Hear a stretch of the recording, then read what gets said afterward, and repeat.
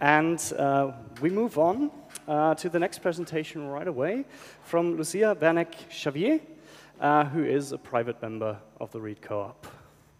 Ah, thank you. Uh, I am Lucia Werneck Xavier. I'm a private member of uh, Transkribus, and I present like this. I can't stay behind this. I feel too, I like to move around. I made a very simple presentation because it's an idea I had a couple of uh, months ago, and it's to work in a general, uh, this large core big models, huge ambitions, building Portuguese models for two important uh, document collections. I'm working uh, for myself in a completely volunteer project for transcribing the Inquisition documentation. We started in 16, in 2019, the year before the virus, and we are still working on it, but it's all volunteer. Even me as a coordinator is also a volunteer. And the second collection is the notary books of colonial Brazil, specifically colonial Salvador da Bahia, that's the capital, was then the capital city of colonial Brazil. Um, why do we need a general model in Portuguese? For simple, the inquisitorial documentation has professional scriptors and private scriptors as well. Uh, but it's not everything. It's a huge number of uh, professional scriptors, but still it's not so large that a general model. The Bahia notarial books, only professional scriptors.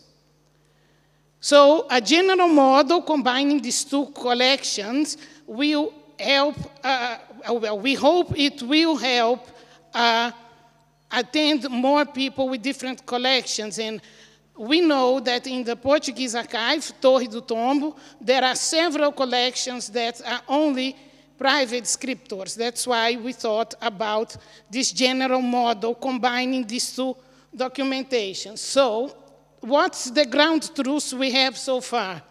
So I have printed material like this one I used in a, in a model for printed for the second half of the 17th century. Then I have this beauty here.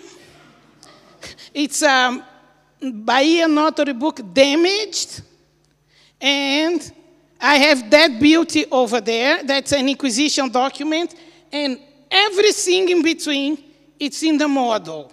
So that's not even the worst damage. There is much worse, but in this ground truth, we have that one. So from this and everything you can imagine in between, we have even some pages that are printed and handwritten. And what did I get for this presentation? The models, uh, one PyLaia it got eight, a CR of 8.5, which I consider an excellent result. And the validation set came out 3.8. I was very happy with that. And the CITlab Plus, it's slightly different. It came out both uh, 12, 13%. I don't know why this difference.